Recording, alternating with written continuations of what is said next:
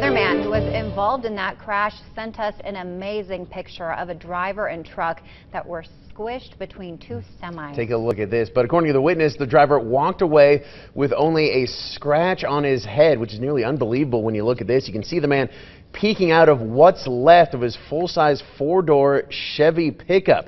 He crawled out of a small opening, and as we said, his only injury appeared to be a scratch on his head.